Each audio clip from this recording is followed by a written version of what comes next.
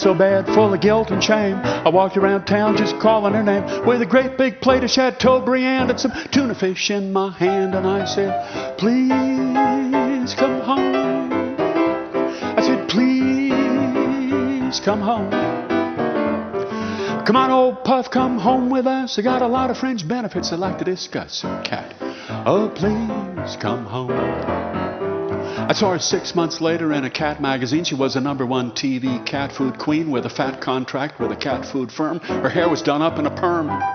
You could tell it was puffed, though this cat was wrapped in a white mink stole and her teeth were capped. She was lying on a beach in the town of Nice. She changed her name to Clarice. I said, you better come home now, baby. I said, Cat, about time that you came home.